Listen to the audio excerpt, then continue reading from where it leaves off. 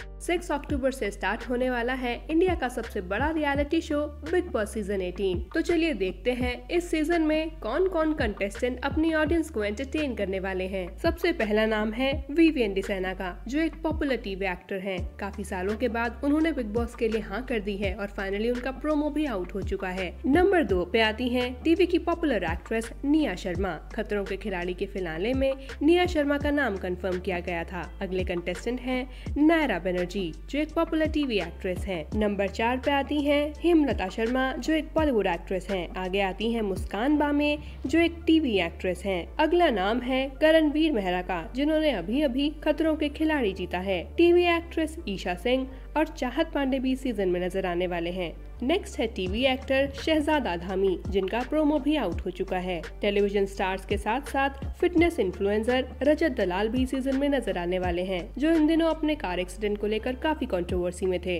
Famous TV और Bollywood actress Shilpa Shirodkar और साथ ही टीवी एक्टर अविनाश मिश्रा इस सीज़न में नज़र आने वाले हैं। इसके बाद है TV actress Alice Kaushik south actress Shrutika Raj Arjun next है बधाई दो की एक्ट्रेस चुमदा रंग और मोटिवेशनल स्पीकर अरफीन खान और उनकी वाइफ और एक्ट्रेस सारा अरफीन खान लास्ट पर not the least BJP leader Tajinder Bagga और लॉयर गुण रत्न सदावर्ते ये थे बिग बॉस 18 के कंफर्म कंटेस्टेंट्स की लिस्ट अब देखना ये इंटरेस्टिंग होगा कि ये कंटेस्टेंट्स अपनी ऑडियंस को कितना एंटरटेन कर पाते हैं या नहीं। अब आप बिग बॉस 18 के लिए एक्साइटेड हैं या नहीं, अपनी राय हमें कमेंट सेक्शन में ज़रूर बताएँ।